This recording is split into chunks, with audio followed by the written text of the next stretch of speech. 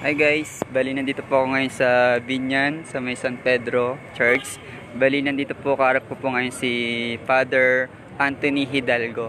Bali hingihan ko po sana si Father Hidalgo ng opinion po na doon po sa nangyari po kagabi na pagsabog po ng Bulkang Taal sa lugar po ng Batangas. So ngayon, nandito po nakalive po tayo ngayon. Bali, ito na po si Father Anthony. Hi Father, ano po masasabi niyo po? Well, siguro sa ganitong sitwasyon, maging ano lang tayo, maging aware lang tayo sa palibot natin.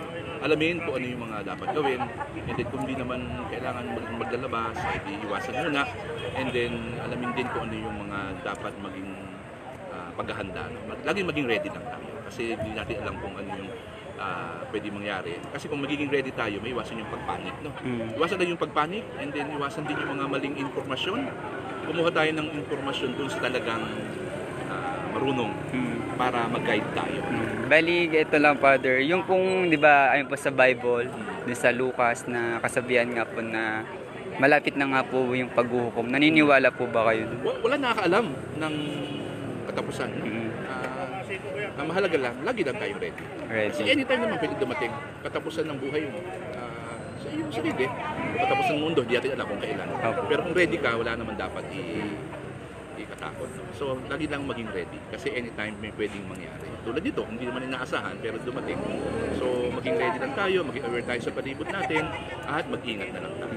So, Dun sa pagpanik ba, kailangan bag maging panic agad? hindi na, uh, huwag panic. Kasi pag nagpanic na, hindi na, hindi natin magawa yung tama. Oo nga po. So, at least, ah, sabi eh, ah, iwasan yung pagpanik, and then, uh, sikapin na pumilos ng may kamalayan. Ibig sabihin yung may awareness. Ano? Then prayers Ah, tayo. and then, dasal. Pagdasal yung mga taong apektado ng lugar. Ano? Okay? Wala na po mga sabi doon. Wala na, okay lang. Basta, Okay kailangan lang maging aware lang tayo. Alerto. Mag-ingat, Mm. and then, ah, gawin ko ano yung tama. Ano huwag magpanik. Okay po. Maraming salamat Okay, po, Father Anthony. God bless Thank po. you. And thank you.